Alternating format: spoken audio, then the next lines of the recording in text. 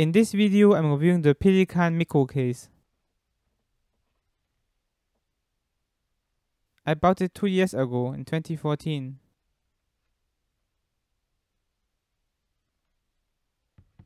I like almost everything about it.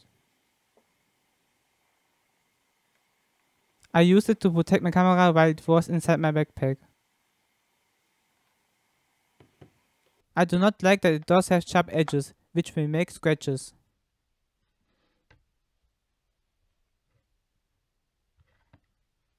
Later I might use sandpaper to get the sharp edges smooth.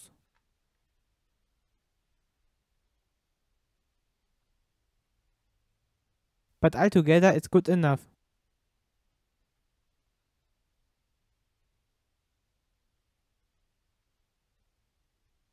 The clear lid is useful to check if you forgot something.